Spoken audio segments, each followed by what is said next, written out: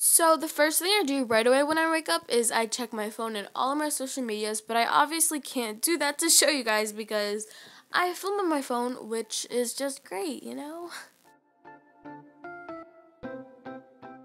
Right after I check my phone and everything, I go straight to the bathroom to go wash my face and brush my teeth, which you guys will see me do in these next few clips.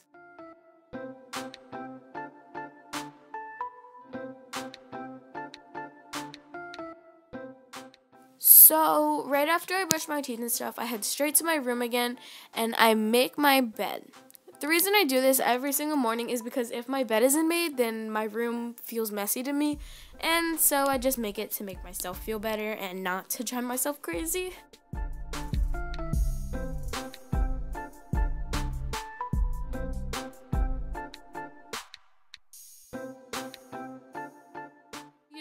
Wake up, my hair is really messy and I don't know what I do in my sleep, but when I wake up, it's not cute at all.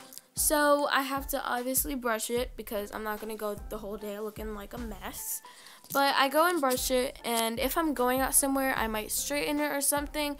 Or if I had it in the night before, I will just take them out. But here you can obviously see I parted my hair when I brushed it, and I actually straightened it because I went out to the mall that day. So, yeah. Oh, and this is the aftermath of me straightening it, by the way. And after that, I'll usually just pick my clothes. Obviously, you can see I didn't wear what I just picked out, but, you know, it's Gucci. It's all good.